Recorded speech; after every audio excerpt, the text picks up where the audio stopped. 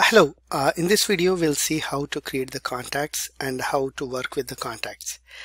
Uh, this is the first screen that you see when you log into the software.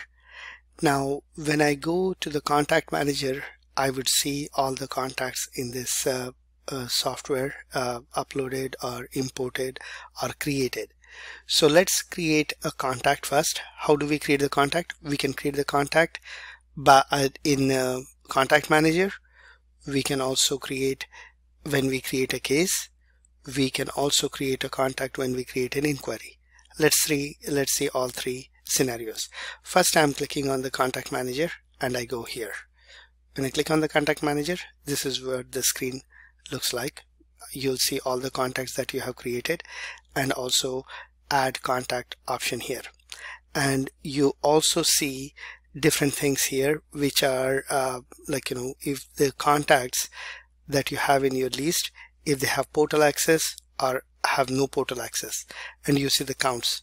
And uh, if they are uh, like what uh, what type of contact they are. Like 85 petitioners have portal access whereas 58 do not.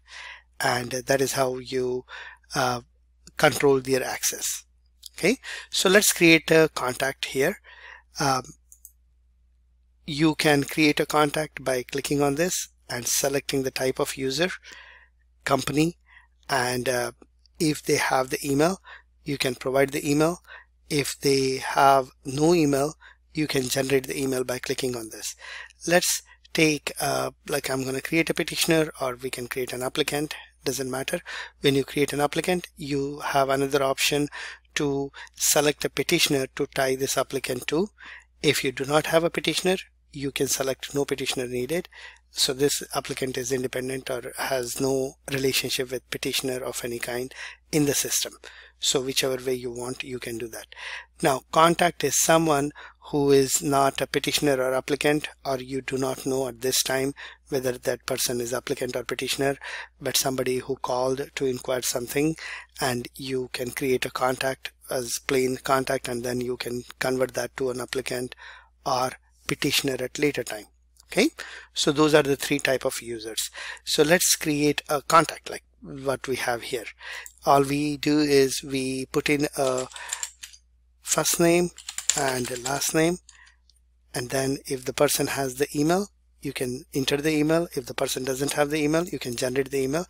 And this is the email which is going to stay in the system and is not going to go out anywhere. But we need an email to tie all the contacts, cases, everything related to this particular contact uh, and keep that contact unique in the system. Okay, uh, you can add a phone number if you want. Uh, I'm going to just add a dummy phone number here and if you want to add notes you can. If you want to add an address you can.